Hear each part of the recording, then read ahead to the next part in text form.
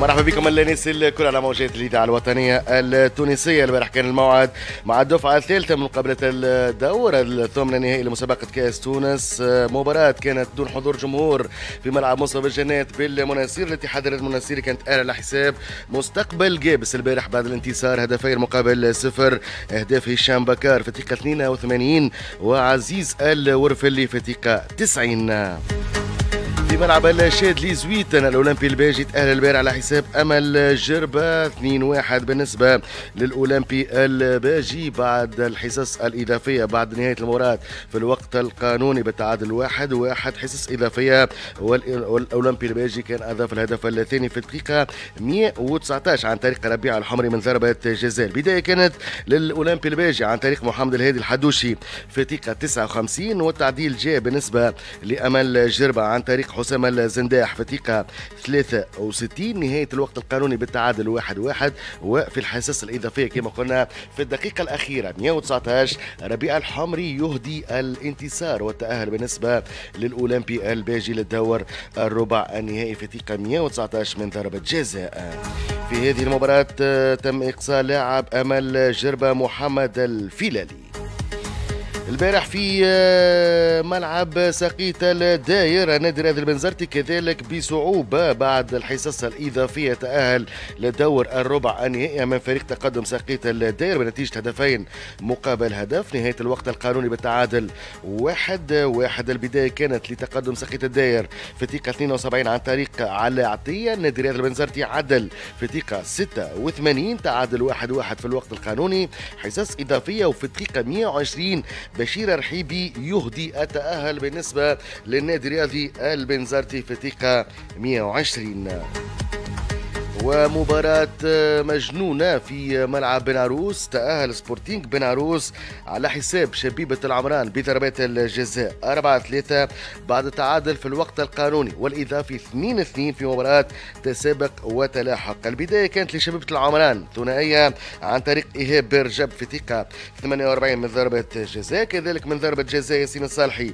يضيف الهدف الثاني لشبيبة العمران في دقيقة 56 ثم الريمونتادا لفريق سبورتينغ بن عروس سجل وجدي الماجري تذليل الفارق في الدقيقة 82 وريان السبعي من ضربة جزاء. عدل النتيجة لسبورتينغ بن عروس في الدقيقة 84 وجدي الماجري كذلك كان ضيع ضربة جزاء في المباراة في الدقيقة 72 وقت إضافي كذلك دون إضافة أهداف نهاية المباراة بالتعادل 2 2 في الوقت القانوني والإضافي. وضربة الجزاء كانت حاسمة لسبورتينغ بن عروس أمام شبيبة العمران 4 3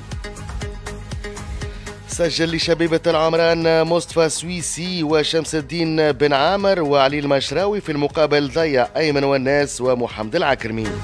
في المقابل سجل لسبورتينغ بن عروس يوسف عطلة الريان السبعي مالك منيف ووجدي الماجري وضيع زكريا المليتي. مبروك لسبورتينغ بن عروس حظ أوفر لجياسو. مبروك للسيابي حظ أوفر لتقدم ساقية الداير.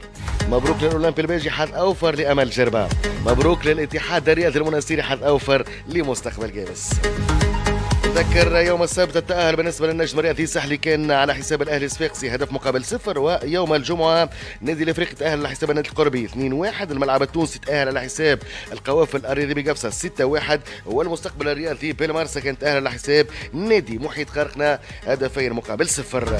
نعطيكم برنامج الدورة الربع نهائي لمسابقة كأس تونس الأولمبي الباجي يواجه المستقبل الرياضي بالمارسا النادي الرياضي البنزرتي يستضيف فريق سبورتينغ بن عروس الاتحاد الرياضي المنستيري في مواجهة للنادي الإفريقي والنجم الرياضي الساحلي في مواجهة لفريق الملعب التونسي. هذه مقابلات الدورة الربع النهائي. نهاية هذا الأسبوع الموعد مع عودة نشاط البطولة. الدفعة الأولى من مقابلات الجولة الثالثة لمرحلة التتويج مجموعة le play-off يوم السبت القادم 25 مايو الجاري الموعد مع مباراة وحيدة تنطلق من ثلاثة ونص في ملعب سوسة. مواجهة منتظرة بين النجم الرياضي الساحلي والملعب التونسي. يوم الأحد 26 مايو الجاري الموعد مع مباراة منتظرة كذلك. قمة في ملعب مصر بن جنات بالمنستير. الخمسة ونص متاع العشية الاتحاد الرياضي المنستيري مع السي المقابلة مباراة مؤجلة يوم 1 جوان القادم دربي العاصمة. مباراة منتظرة مرتقبة الخمسة متاع العشية في ملعب محمد العاقر ببرادس مواجهة بين النادي الإفريقي والترجي الرياضي التونسي. على ذكر الترجي الرياضي التونسي اللي عنده موعد هام جدا يوم السبت القادم. مباراة اياب الدور النهائي لل Champions League الإفريقية مباراة في استاد القاهرة 6 متاع العشية بتوقيت تونس. نذكر مباراة الذهاب في ملعب حمادي العقربي برادس انتهت بالتعادل صفر مقابل صفر. إن شاء الله زينة بالنسبة للترجي الرياضي التونسي من أجل العودة باللقب وتحقيق نتيجة ممتازة إن شاء الله يوم السبت القادم أمام الأهلي المصري. الترجي قادر انه يرجع بلقب ال Champions League الأفريقية. يلزم التركيز. الجرينتا تكون حاضرة.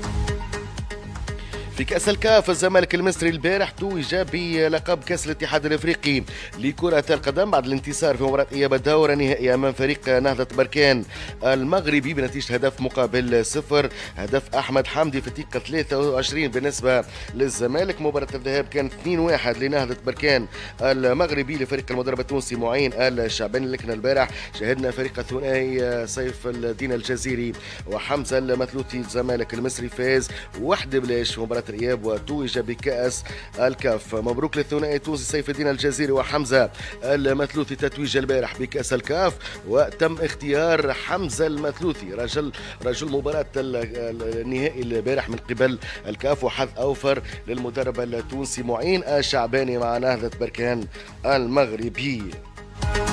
كرة اليد البارح كان الموعد مع مقابلة الدور النصف النهائي لمسابقة كأس تونس. الترجي الرياضي التونسي تأهل للدور النهائي بعد الانتصار البارح على بعث بن خيار. 27 مقابل 23 والنادي الإفريقي يعود بورقة العبور للدور النهائي بعد الانتصار في المهدية. على المكارم 30 مقابل 28 مواجهة منتظرة في الدور النهائي بين الترجي الرياضي التونسي والنادي الإفريقي يوم 1 جوان القادم. ديربي العاصمة من جديد في كرة اليد لكن المرة هذه في كأس تونس في الدورة النهائي في كرة السلة فريق الاتحاد الرياضي المنستيري يعزز صفوفه باللاعب الأمريكي أفري هولمز المحترف في الدوري المكسيكي. نذكر انه الاتحاد الرياضي المنستيري شارك في نهائيات البال انطلاقا من يوم الجمعة القادم في كيغالي رواندا. العداء التونسي محمد أمين الجناوي تأهل رسميا للعبة الاولمبيه باريس 2024 لسباق 3000 متر موانع بعد تحقيقه البارح المركز الثامن في الجولة الرابعة من ملتقيات الدوري الماسي لالعاب القوى بمدينة مراكش المغربية بتوقيت 8 دقائق 13 ثانية 86 جزء بالمئة. مبروك لمحمد أمين الجناوي. مانشستر سيتي الإنجليزي يتوج البارح رسميا بلقب ال Premier League الإنجليزية. جديد التتويج بالنسبة للمان سيتي وتتويج جديد للمدرب جوارديولا عملاق التدريب في العالم. 17 لقب مع المان سيتي 14 لقب مع برشلونة برشلونة الإسباني وسبعه ألقاب مع البايرن. أرقام مفزعة للمدرب جوارديولا هكا نكملوا فلاش سبور متابعة طيبه للجميع على موجات الإذاعة الوطنية التونسية. إلى اللقاء.